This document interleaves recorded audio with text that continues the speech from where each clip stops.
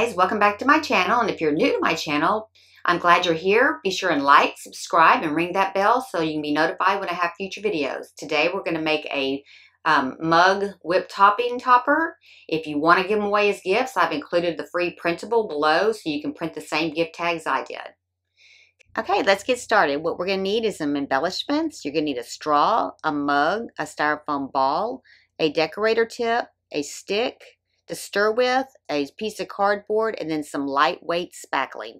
I'm using this Fast 'N Final lightweight spackling. I got it at Lowe's. Just make sure that you use a lightweight spackle because if you don't use a lightweight, it will not set up. It won't, it'll, it'll be flopped in the morning.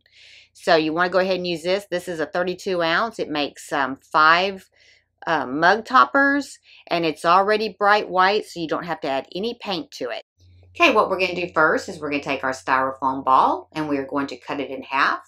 And you can use whatever size styrofoam ball you want to. It's just more of a filler than, um, so you don't have to use so much spackling. Go ahead and trace out your mug and you can use any size mug you want. And this is going to be the base of our whip topping mug topper. And I'm just using a thick piece of um, chipboard. You can use cardboard or anything you want to. Okay, we're just going to go ahead and take some, I'm taking some press and seal. You can use cellophane or whatever you want to. You just want to use something to cover your piece of cardboard so that your spackling will not stick to it. And the press and seal was pretty good because I was able to kind of spin my, um, my cardboard while I was decorating. Okay, just go ahead and attach your um, styrofoam and make sure that you get it right centered into the middle of your base. Next, we're going to take our um, decorator tip and we're going to cut the end of our piping bag off and place it inside of there and that's what we're going to use to make our um, topper. We're going to fill that bag up with the spackling and try to get it as low as far into the bag as you can because you want to make sure that you eliminate any air bubbles. And go ahead and fill it pretty full. If you don't use all that spackling, you can put that back into your container.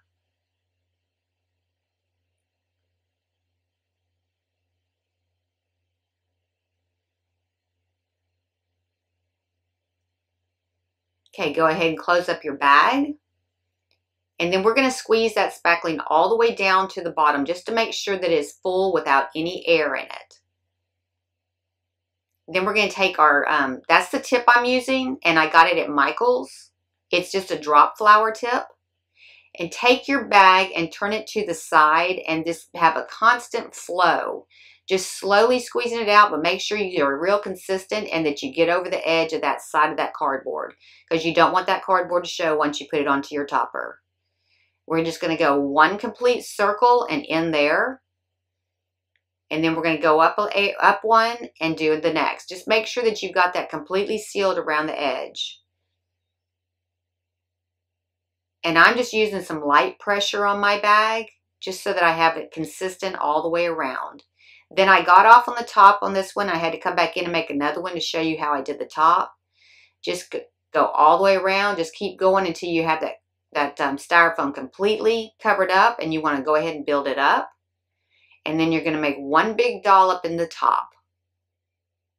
Like that. Just check your sides. Make sure that it's completely sealed in. Then I'm taking a straw and I cut it in half. Then I cut it a little bit more. I'm using it. I ended up with a two inch straw. So two two inch straws and you're just going to stick them right into the top. Kind of facing up at an angle.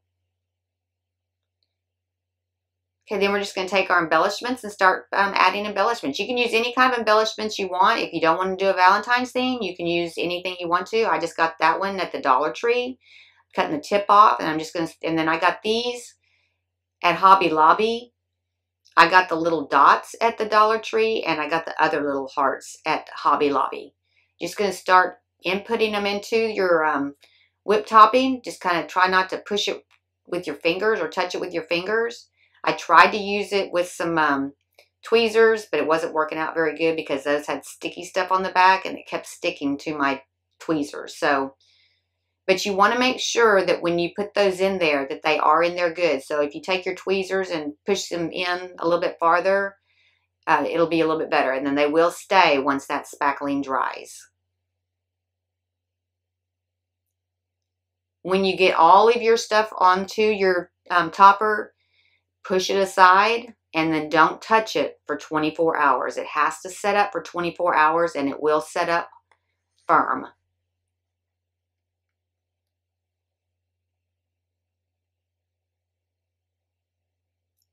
And you can make these for any holiday that you want to. Then I'm taking some real fine um, iridescent glitter and I'm putting it on top. Make sure that you don't skip this step because it really makes it beautiful. And I added quite a bit.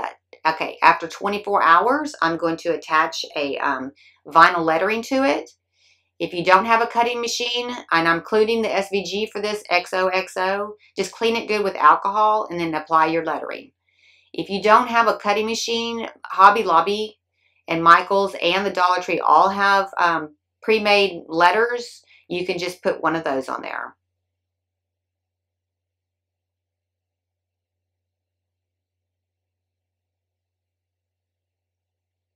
Okay, then all we lack is just to glue our topper on top. And it does, you could ship these. I shipped one to my mom and it shipped really well. So just put glue all the way around the edge and then glue it to your mug. Just make sure it's centered good before you put it down because I had a hard time moving it after I got it glued down.